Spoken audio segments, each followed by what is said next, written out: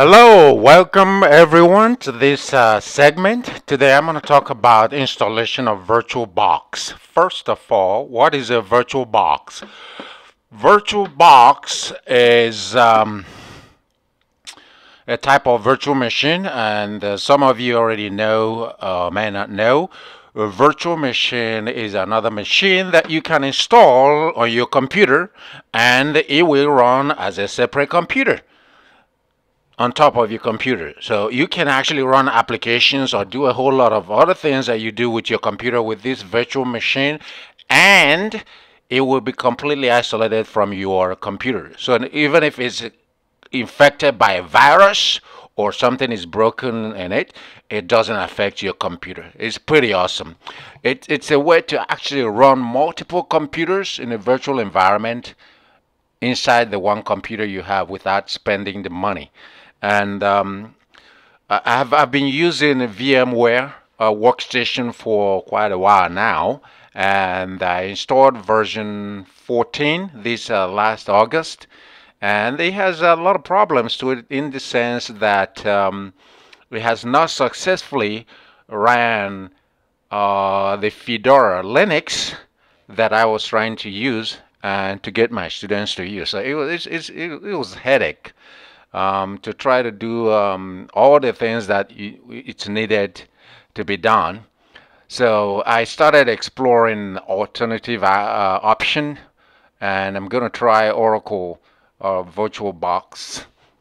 I, I see here on their page that uh, it has a support for Mac operating system and many of those students of mine who had this problem uh, had Mac operating system so they couldn't run VMware.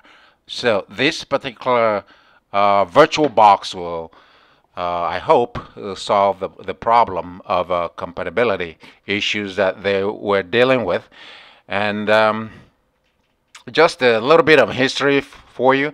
Uh, this uh, VirtualBox was initially developed by a, a company called Innotek.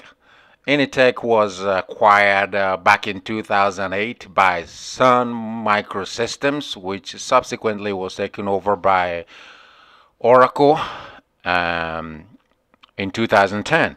So Oracle now is a current developer and um, maintainer of this uh, virtual machine. So I'm going to go ahead and uh, bring it up and try to install it. And in order to do that, I'm going to go ahead and um, bring up my browser. So I'm gonna click here. And then I'm gonna go to VirtualBox. Uh, it's already there but because I've already uh, uh, clicked on it before. But before I go ahead let me check uh, make sure that the one I downloaded before is not there. Okay so it's already there. But the way to download it is to click on this box once you go to the web page here you click on it and you can actually save to any uh, folder that you want. I've already saved mine to the uh, downloads folder and I'm going to install it from there. This is it right there among uh, these are the executable files. So I'm going to double click on that and start the installation. And while this is going on I'm going to bring out the CD and insert it the DVD for the um, operating system that we run inside it. So I'm going to click next and then accept the default here and click next. And I'm going to accept all the default settings uh, the checked uh, boxes here. And I'll say next and I'll say yes. And I will start my installation. Good. Hopefully it will go well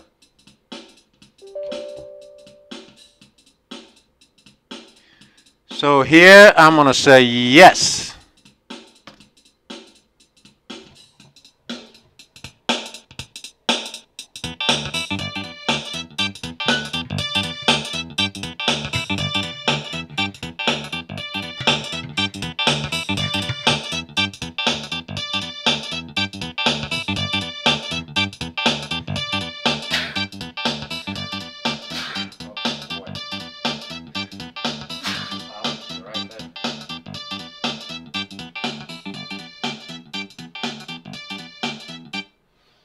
So I'm, I'm going to click um, finish. And because I want this uh, Oracle Virtual Box to start immediately I will click finish. And uh, let's see what happens. It's going to open up most likely. And uh, that's it right there. It shows that uh, with the Windows 10 I've installed initially is there. So I'm going to go ahead and uh, remove it. Uh, remove and delete all files associated with it so now that I have done that what I'm going to do next is try to recreate reinstall that operating system and um, for you to do that you actually may need the 90-day trial version from Microsoft. If you go to this page there, microsoft.com, en-us, eval center, evaluate Windows 10 Enterprise. If you go to the uh, browser and put in that address, right there, it will allow you to download the 90-day trial of Windows 10 that you can use. Uh, if you click there, say ISO image enterprise, which is for the um, Windows 10 Enterprise Edition. And uh, once you click here, it will take you through filling a few, uh, one uh, or two forms, and then allow you to download that image. But I do not need need that image because I already have um, the physical DVD uh, for this that I've already inserted um, into the D drive. So I'm going to go ahead and close my browser and uh, proceed with the installation so here I'm going I'm to say new and I'm going to call it uh, Windows 10 in order to create the new operating system inside this machine. Uh, Windows 10 okay if I'm creating Linux I type Fedora Linux and it's going to bring Linux option here. And my system is Windows 10 64-bit some will say 32-bit if yours is 32-bit make sure to check and you will select that. When you go to system um, um, settings you'll be able to see that. Okay so um, I'm gonna click next. And there's asking to take up to 2 megabytes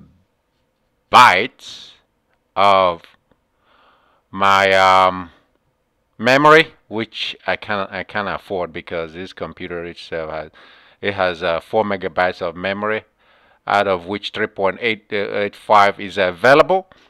So I'm going to reduce this by far to avoid this locking up on us while I'm doing the installation. So I'm going to go down all the way to 12. Hopefully it will allow us to use uh, this uh, smaller size. 1024 mega, megabytes. Um, so the recommended memory size is this. Uh, so we're going far below that. Um, not a good idea though. I don't recommend it. But for the purpose of getting this to work we're gonna try to uh, do that. Take the um, the lower memory option. Uh, 15 to let me leave it at 1520 and click next.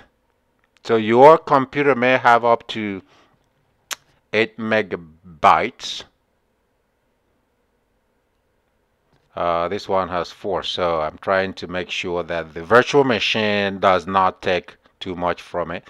So I'm going to say create virtual hard disk now. So it's going to create a virtual hard disk for me and I will leave it with the first option there the virtual disk image and I'm going to say next dynamically allocated yes.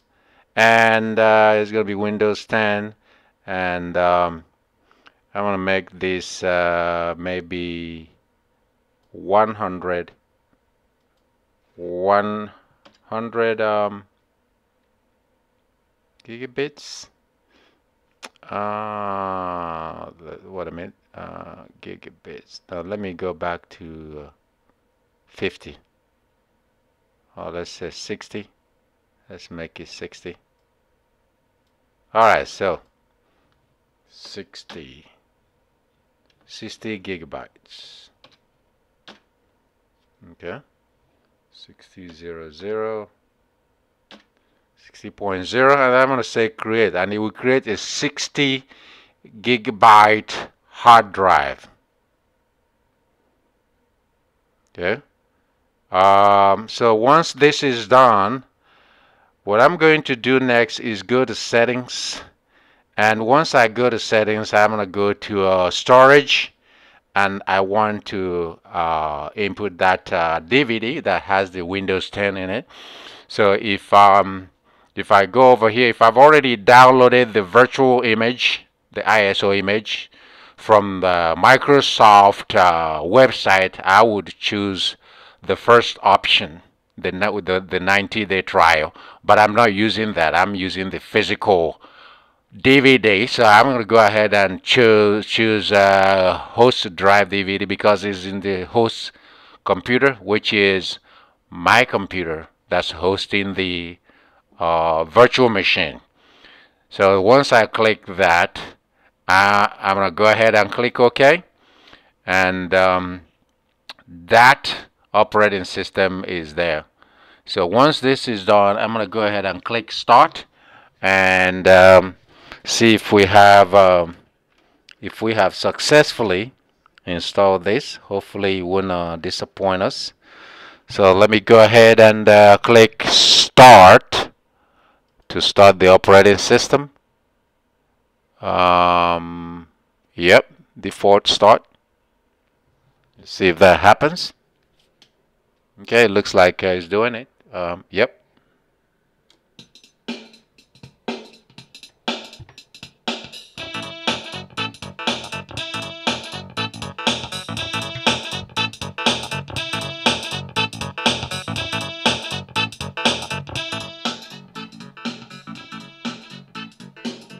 So as you can see, the Windows logo is there, and that means the operating system is loading.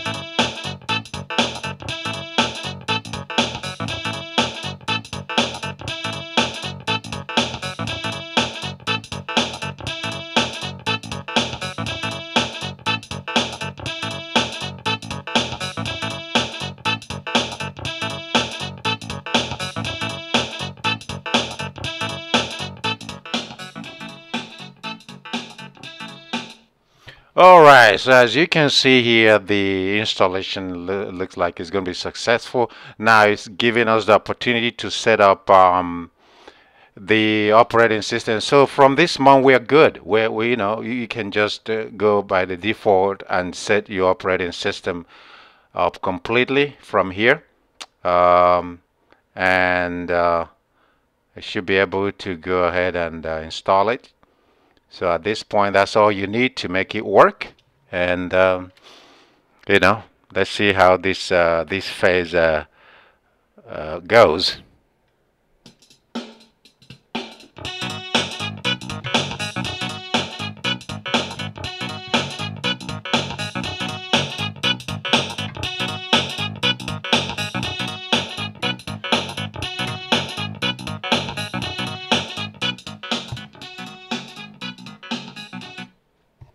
Alright, so I'm going to go ahead and uh, click accept. And it's going to say that. I'm going to say next. And, uh, alright, uh, I'm going to look at these two options quickly and then make a decision.